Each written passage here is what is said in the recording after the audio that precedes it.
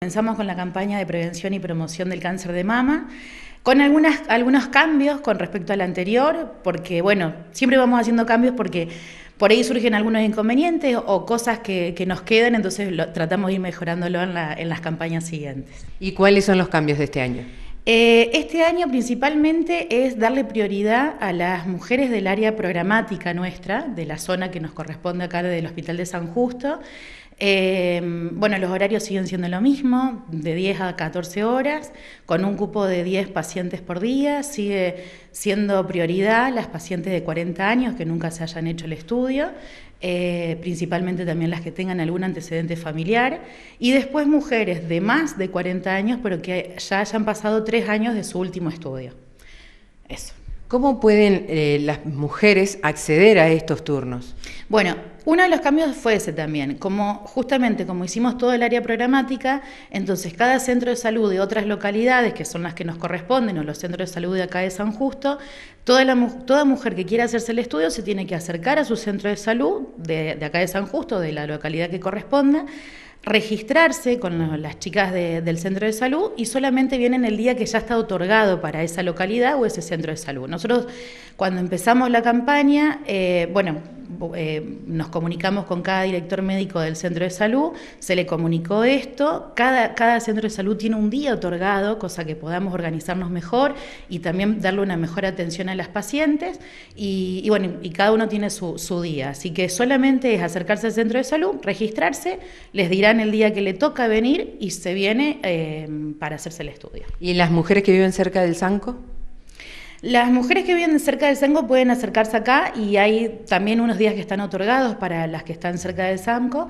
Eh, lo que sí, algo para que quede claro, nosotros todos los años hacíamos incluso desde Pedro Gómez o sea, abarcábamos una zona mucho más amplia.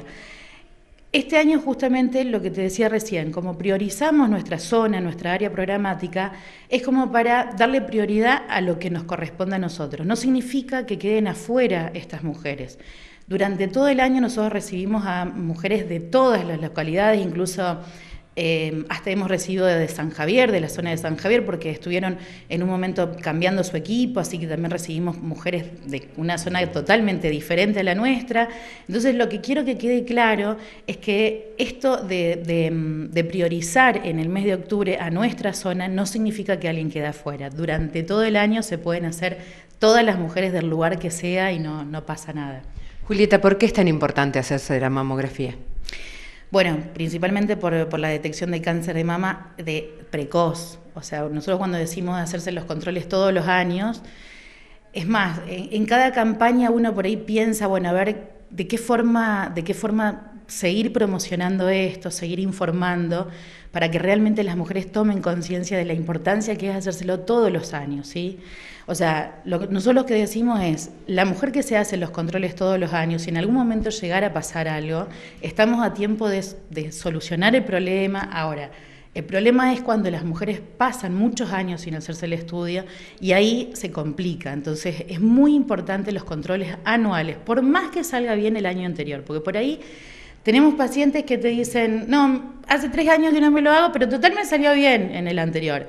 Y es horrible cuando haces el estudio y sale algo, porque vos decís, ¿en qué fallamos? O sea, venimos haciendo campaña todos los años, hablamos, entonces por ahí uno piensa, bueno, a ver qué palabras tengo que usar para que llegue para que tomen conciencia y que todos los años se lo hagan. Así que bueno, yo espero y confío de que, porque por ahí también hay mucho tabú o, mucho miedo con respecto al, al estudio, Siempre a las mujeres que vienen por primera vez les pido que digan esto, la experiencia que tuvieron, de que no es dolorosa, que obvio es un poco molesta, pero que vale la molestia para hacerse el control y estar segura que está todo bien. Este es el mamógrafo.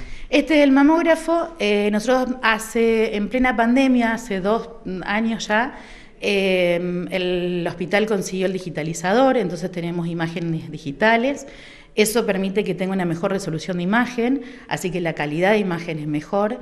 Eh, así que bueno, las espero para que vengan a hacerse sus controles.